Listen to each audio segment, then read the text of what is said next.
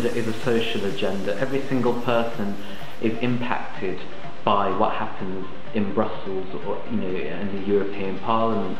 We all have a stake in that. If we give up our voice and our entitlement you know, to have our say, then we don't have a future in Europe that is going to be um, you know, inclusive. And if we want an inclusive and, and, and an equitable society, then we, we have to use our, our voice.